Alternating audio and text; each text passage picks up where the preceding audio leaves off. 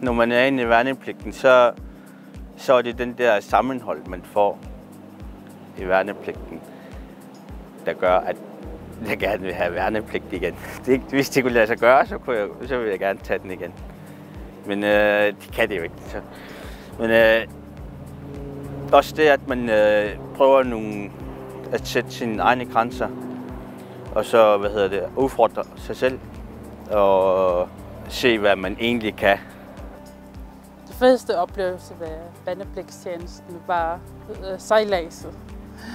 Det halvanden måned, hvor vi sejlede med en af inspektionsskibene omkring Grønland. Det var fantastisk at se Grønland fra en anden perspektiv. Altså det, det, som der nok overraskede mig mest, det er, at jeg havde slet ikke regnet med, at, at det ville være så fedt.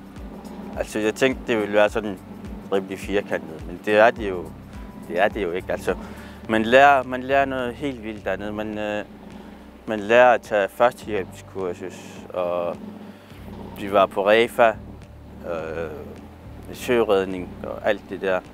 Altså det, det havde jeg slet ikke forventet, det, det, og det at skulle være ude i, så meget ude i naturen. Det var, det var virkelig fedt for mig, fordi heroppe der, der plejer jeg altid at være ude i naturen. Så det at være ude i skoven nogle gange, så var det, rim, det var virkelig fedt for mig. Jeg var overrasket over øh, professionalismen, prioriteterne, mangfoldigheden og at, hvad der er af karrieremuligheder, som er så mange. Og vandepligtstjenesten, det åbnede mange døre. Det var, jeg havde altid læst om det, øh, hvor jeg synes, det var så, at det ville være sådan en, en udfordring for mig selv at prøve nogle nye grænser af og prøve noget helt andet end det, som man er vant til i hverdagen. Det er noget helt andet, det er det. Og det har jeg aldrig fortrudt. Og også finde ud af, hvad man egentlig kan, og så lærer man meget om disciplin.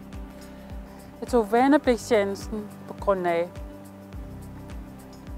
jeg stribbede efter at arbejde for Arktisk Kommando.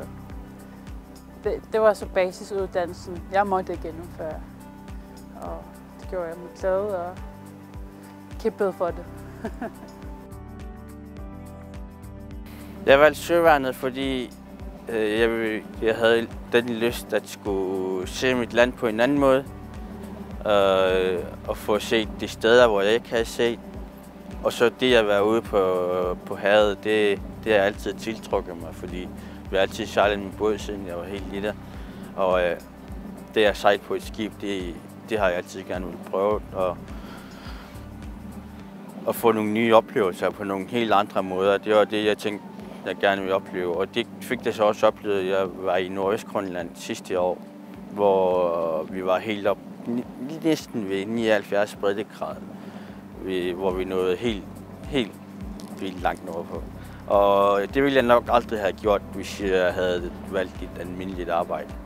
Jeg valgte søvandet på grund af, øh, vandet er altid tæt på mig, og det er meget grønlandsk del af mig, der også øh, fortæller mig lidt, at øh, vandet er det rette sted for mig. Og søvandet har jo en øh, rolle i Grønland om at beskytte det arktiske område med forsvarets skibe.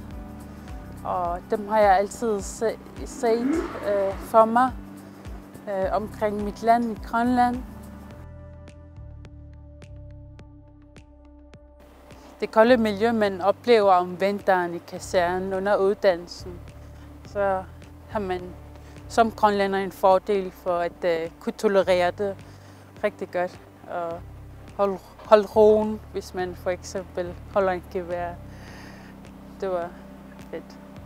Det, som jeg oplevede at komme fra Grønland og så arbejde nede i Danmark for eksempel, i andre lande, det det er noget helt andet end vores land, jo. Det er det, og jeg synes, det er fedt at opleve det på den her måde.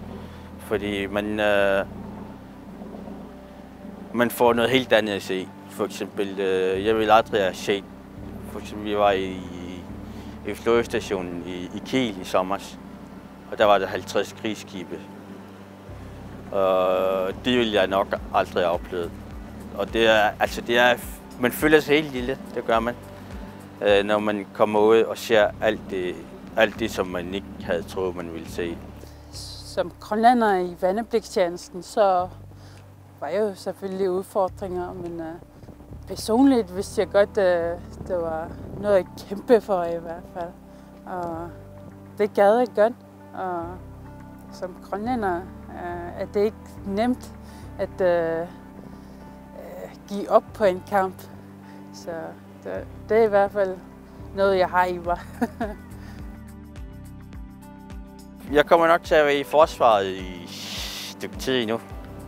Jeg har ikke andre udsigter til at skulle være nogle andre steder end forsvaret, fordi det er et spændende arbejde. Det er arbejdsplads. Øh, det er virkelig fedt, fordi man, øh, man udvikler sig hele tiden på nogle forskellige måder. Jeg stræber efter at planlægge mere uddannelse og karriere inden for forsvaret, øh, specifikt i Arktisk Kommando. Det, det har været min store drøm i et stykke tid nu.